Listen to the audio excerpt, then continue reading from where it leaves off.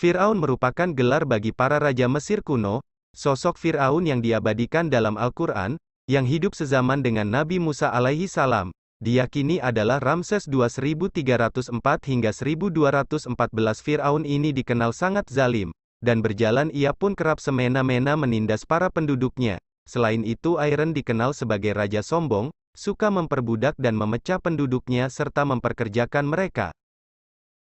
Hal ini sebelum lanjut jangan lupa klik subscribe, dan tekan tombol notifikasi kamu di bawah video ini, agar kalian tak ketinggalan berita dari channel ini. Dengan kerja paksa, Crown juga menjadi orang yang selalu menentang kebenaran, serta musuh Nabi Musa alaihi salam dan para pengikutnya puncak kesombongan Fir'aun adalah ketika ia mengaku, jika dirinya adalah Tuhan, konon lalu dibinasakan oleh Allah subhanahu wa ta'ala di Laut Merah, lantaran berusaha mengejar Nabi Musa alaihi salam, dan para pengikutnya.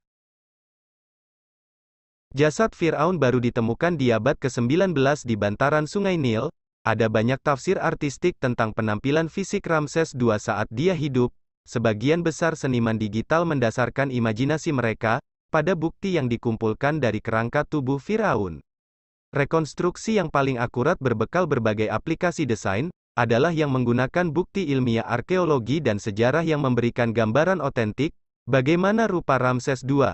Oleh karena itu Ramses II umumnya digambarkan memiliki rambut merah, wajah oval, itulah pipi tinggi perang tegas dan dagu melengkung, bibir tebal, hidung bengkok, panjang dan tebal serta senyum yang angkuh.